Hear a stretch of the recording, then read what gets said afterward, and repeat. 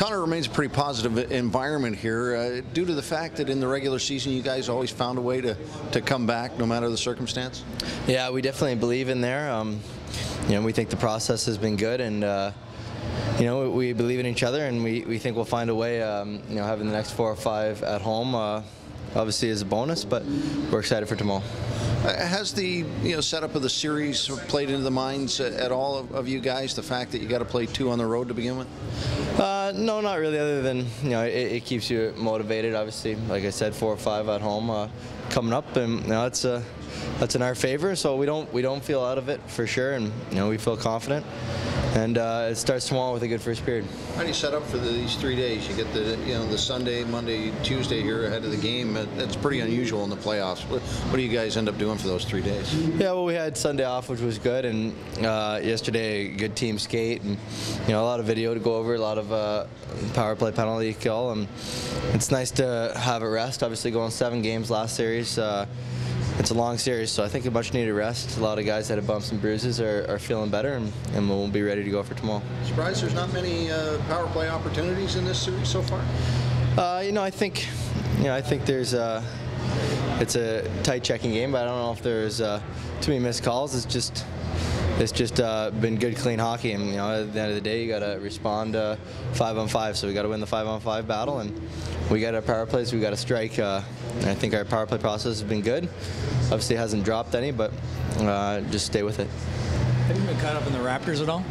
Yeah, actually, I have. Uh, I was watching last night. Obviously, uh, you know, pretty awesome being down two there and coming back you know, they, a lot of resilience in that team. A little inspiration uh, within MLSE from them?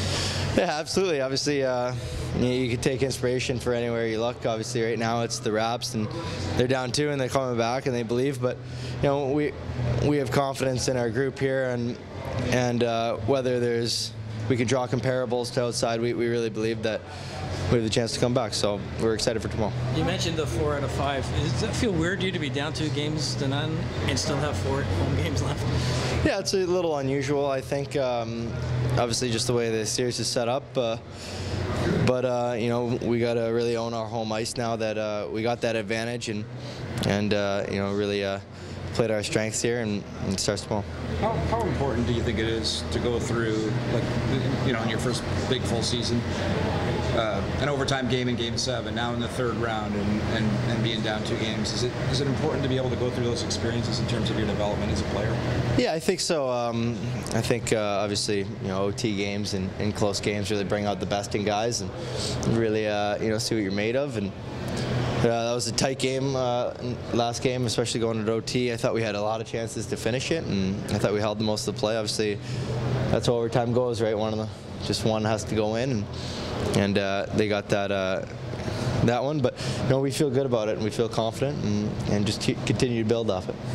You mentioned it's going to count two games. How much of an asset is that, just in terms of building a game plan and taking lessons away from games one and two? Yeah, I think uh, I think there's lessons to take, but I also think there were a lot of uh, good things that uh, went on, especially in game two, um, that we can build off.